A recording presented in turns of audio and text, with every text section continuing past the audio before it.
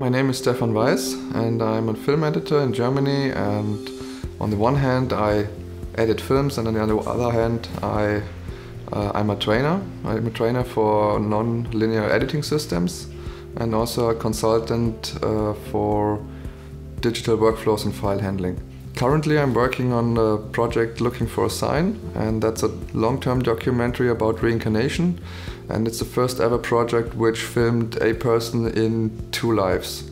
So in his past life and in his actual life. If you're doing a long-term documentary, of course you always face the challenge uh, to get a mixture of footage from different filming technologies. We started at 60mm in 1987 then uh, Beta SP Mini DV, it came to HDV and stuff like that. So the main challenge for this project is to decide the framing of this old material because it's all 4x3. We tried to keep the 4x3 and to stitch the background with After Effects and track them around to extend the image in a natural way but to keep the whole 4x3. I would have had the choice to start in Premiere Pro. It would have helped a lot because uh, it can handle all the different file formats. You can throw it into the timeline and just hit play.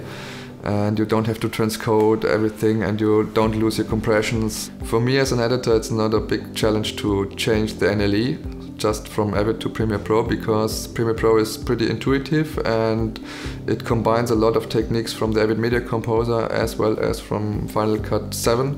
When I work in with Premiere Pro, um, there's a just a little feature I love the most. It's called uninterrupted uh, playback and it's just a little thing but uh, for me as an editor it's a huge thing because when you start the playback, you can interact in the timeline and you can interact with effects without having to stop the playback. And that helps a lot if you're with a client or you just want to watch your movie and do some little changes in real time. I love the After Effects integration to Premiere Pro because it's so quick to just do some changes and the possibilities of After Effects are huge. I also love this Lumetri integration from last year, which is really great. Uh, the results are much better than in, in other systems because the engine from SpeedGrade is so, so much better to the color. I don't know why, but it's I get the better results.